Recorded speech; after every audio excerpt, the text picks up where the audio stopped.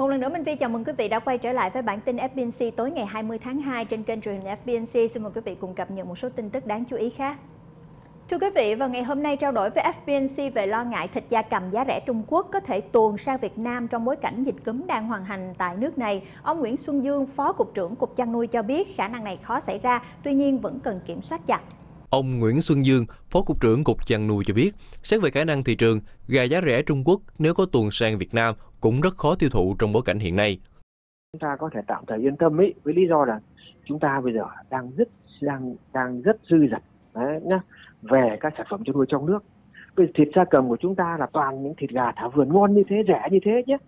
Thế thì chúng ta không thể không ngại là có cái cơ mà cái, tuần những cái, cái, cái, cái thịt kém sang Việt Nam lúc này được. Đấy, tất nhiên là mình nói như vậy thì mình không mất cảnh giác chúng ta vẫn tăng cường kiểm soát ở biên giới để để để để để để, để, để hạn chế à, nếu như có thể là đưa các cái gia cầm ở các nước đang có vùng bệnh sang ta. Nhưng mà chúng ta cũng yên tâm rằng ấy thì lúc này thị trường trong nước đang rất suy giảm về các sản phẩm chăn nuôi đặc biệt đối với chăn nuôi như thế lợn và chăn nuôi gia cầm. Nên cái khả năng đó là không có điểm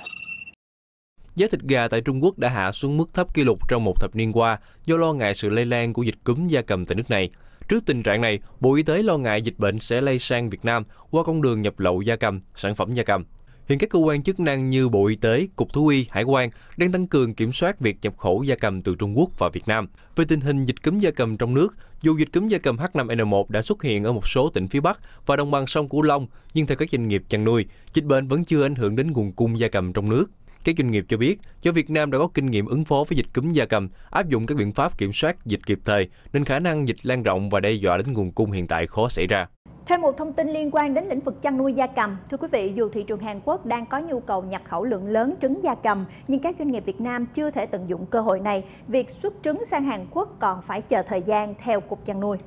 Theo Cục Chăn nuôi thuộc Bộ Nông nghiệp Phát triển Nông thôn, dù có kế hoạch xuất khẩu các sản phẩm chăn nuôi sang các thị trường khó tính như Hàn Quốc, Nhật Bản, nhưng đến nay, Việt Nam chỉ mới xuất được trứng cút sang Nhật Bản và đang chuẩn bị các thủ tục để có thể xuất khẩu trứng gà, thịt gà sang thị trường này. Riêng với thị trường Hàn Quốc, Việt Nam chưa xuất được sản phẩm gia cầm nào. Đại diện Cục Chăn nuôi cho biết, Bộ Nông nghiệp Phát triển Nông thôn đã có định hướng, nhưng việc thực hiện cần có thời gian.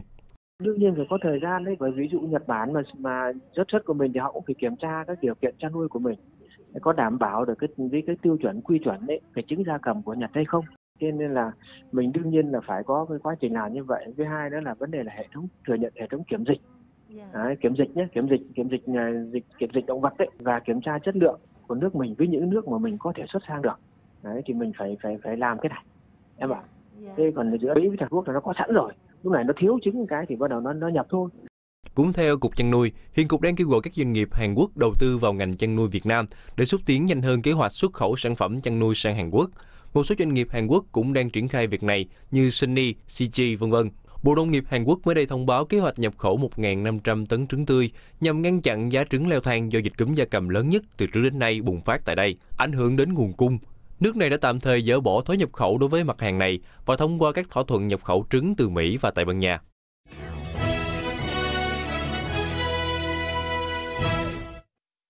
Mặc dù mới đầu vụ thu hoạch nhưng giá hồ tiêu trên thị trường đang có xu hướng đi xuống so với cùng kỳ năm trước. Trước hiện tượng này có ý kiến cho rằng do tiêu Việt Nam không kiểm soát tốt dư lượng hóa chất trừ sâu dẫn đến thị trường thế giới giảm mua khiến giá giảm. Thực hư của câu chuyện này ra sao? Chúng tôi đã có một cuộc trao đổi với ông Đỗ Hà Nam, Chủ tịch Hiệp hội Hồ tiêu Việt Nam để tìm câu trả lời. Xin mời quý vị cùng theo dõi. Thưa ông, theo như thông tin chúng tôi được biết thì ờ, mặc dù là mới vào đầu vụ thu hoạch hồ tiêu, tuy nhiên là giá trên thị trường có xu hướng đi xuống. Ờ, vậy thì ờ, ông có thể cho biết là nguyên nhân vì sao không ạ? Như chúng ta biết thì năm 2016 là một năm mà ngành hồ tiêu đã có một cái sản lượng xuất khẩu lớn nhất trong lịch sử. Tức là chúng ta đạt đến sấp xỉ là một, 180.000 tấn và chiếm chỉ trọng gần 60% lượng xuất khẩu trong toàn cầu. À, và cái giá bình giá của chúng ta xuất cái cái tổng kim ngạch chúng ta cũng thu được à, cũng là một năm mà có lịch sử là, là trên một à, tỷ tư đô la. Ờ, như vậy thì chúng ta cũng biết là cái sản lượng chúng ta cung cấp trên thị trường rất là lớn. Và trong chừng mực nào đó thì cái tồn kho từ các nước là chắc chắn là sẽ có. Cộng với việc là hiện nay ở Việt Nam diện tích cũng đã tăng lên khoảng trên 10% so với năm cũ. Và như vậy theo nhận định thì năm nay cái sản lượng sẽ không thấp hơn cái vụ cũ. Thì đó là những cái nguyên nhân làm cho cái cái ảnh hưởng từ các cái thị trường tiêu thụ người ta hạn chế mua và khi mà thị trường vào vụ mà khi mà thị trường nước ngoài người ta hạn chế mua thì chắc chắn những người uh, bán hàng người ta muốn đẩy mạnh bán ra thì người ta phải giảm giá. Và cái giá này nó cũng là một cái giá mà chúng tôi cho rằng là nó cũng không phải là quá thấp so với ừ, cùng kỳ của cái năm cũ. Vì năm cũ thì chúng ta cũng khoảng ờ, à, 130 ngàn thôi. Thì như vậy thì cái chênh lệch là không nhiều. Thưa ông, ngoài lý do ừ, thừa cái nguồn cung ờ, do diện tích tăng mạnh thì một số ý kiến cũng cho rằng là do Việt Nam chưa có kiểm soát tốt cái chất lượng uh, vệ sinh an toàn thực phẩm của hồ tiêu hiện nay dẫn đến là thị trường thế giới giảm mua đối với tiêu Việt Nam. Uh, vậy thì theo ông thì thông tin này có chính xác hay không ạ? À, thực ra thì uh, cái vấn đề mà không phải chỉ là tiêu mà các cái sản phẩm nông sản khác của Việt Nam thì cũng đang gặp một cái khó khăn trở ngại đó là vấn đề về cái dư lượng thuốc trừ sâu thì uh, cái vấn đề này đặt đặt ra là nó liên quan đến cũng là một cách mà đối với cạnh tranh trong thị trường thì khi mà anh có một sản phẩm lớn mà chiếm tỷ trọng cao ở trên thị trường thì bao giờ ờ, ở các nước nhập khẩu thì người ta cũng luôn luôn làm khó chúng ta bằng những cái cái thông tin như vậy. Ờ, và hiện nay ngành hồ tiêu cũng đang gặp một số các cái cái cái dư lượng thuốc trừ sâu trong cái sản phẩm của mình. Ờ, tuy nhiên thì cái bản chất hàng hóa này thì nó cũng không phải hoàn toàn là như vậy mà nó chỉ có những trong chừng mực trong quá trình kiểm soát thì cũng có những xuất hiện những cái mẫu mà nó có phát hiện này thôi.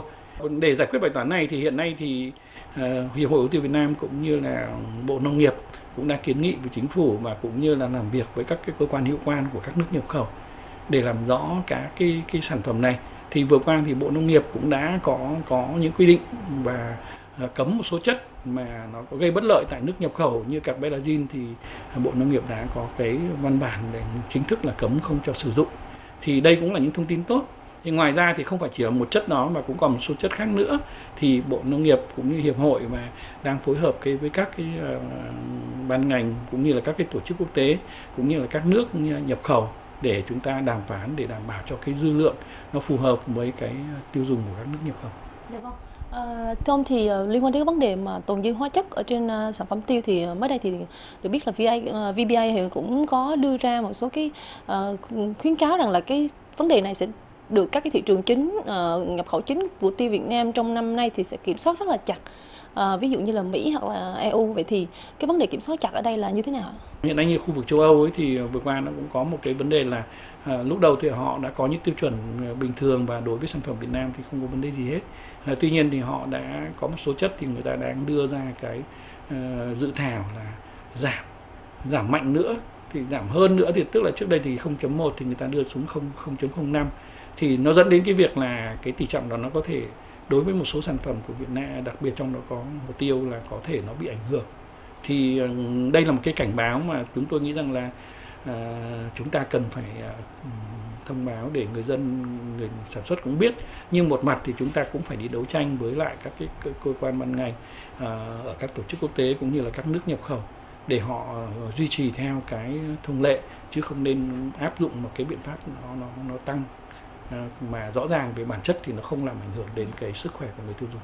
Dạ vâng. À, thưa ông trước đây khi mà nói về vấn đề vệ sinh an toàn thực phẩm trên tiêu thì ông có nói rằng là nếu mà chúng ta không kiểm soát tốt cái vấn đề mà tồn dư hóa chất thì nó sẽ dẫn đến là cái giá tiêu sớm muộn gì nó cũng sẽ bị sụp đổ vậy thì uh, cái cái vấn đề những cái dấu hiệu hiện nay của thị trường đã cho thấy cái cái cái cái điều cảnh báo này chưa chưa chưa, chưa không Thực ra thì câu chuyện mà dư lượng thuốc sâu mà hàng bị trả về đặc biệt là thị trường khu vực châu Âu thì nó đã nhiều năm chứ không phải đến ngày hôm nay và nó ngày một trầm trọng hơn. Thì ờ, cái trầm trọng hơn này nếu trong điều kiện mà thị trường giá lên thì tình hình nó cũng không đến nỗi nó quá trầm trọng bởi vì ừ,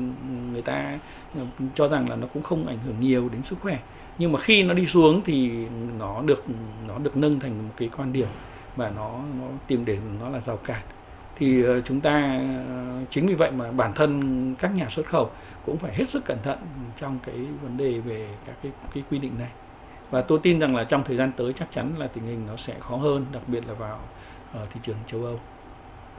À, thưa ông thì uh, nếu nói về cái tình hình uh, xuất khẩu hồ tiêu của năm nay thì uh, ông nghĩ là cái tình hình nó có gọi là khả quan như là cái năm vừa qua hay không? Chúng tôi uh, cũng hy vọng rằng là nếu mà duy trì được cái sản lượng như năm năm vừa qua thì chắc chắn cái cái kim ngạch nó sẽ không giảm nhiều. Tuy nhiên mà nếu mà trong trường hợp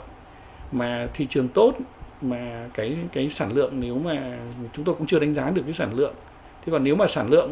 là tốt có thể xuất được lượng uh, xuất khẩu nó tăng hơn thì chắc chắn là là cái cơ hội nó sẽ có nhưng mà theo chúng tôi đánh giá thì chắc là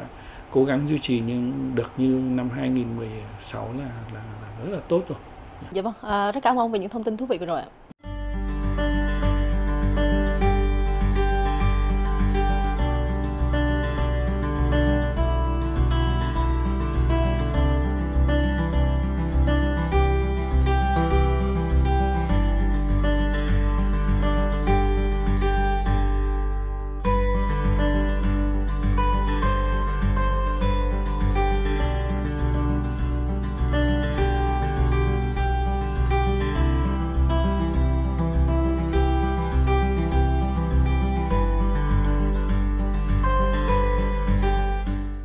Vâng, như thường lệ, tiếp theo trong bản tin FBC tối nay xin mời quý vị cùng cập nhật một số thông tin nổi bật trên thế giới. Hàng ngàn người dân New York biểu tình phản đối chính sách nhập cư mới với người Hồi giáo. Người dân Tây Ban Nha biểu tình yêu cầu chính phủ tiếp nhận thêm người tị nạn.